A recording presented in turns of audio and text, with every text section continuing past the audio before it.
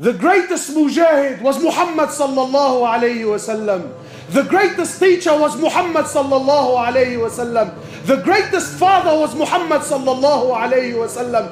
The greatest husband was Muhammad sallallahu alayhi wasallam. The greatest mercy to humanity was Muhammad sallallahu alayhi wasallam. The greatest abid to ever worship Allah Azza wa Jal was Muhammad sallallahu alayhi wasallam. The greatest messenger to ever walk the earth was Muhammad sallallahu alayhi wasallam. The greatest prophet to ever receive revelation was Muhammad sallallahu alayhi wasallam.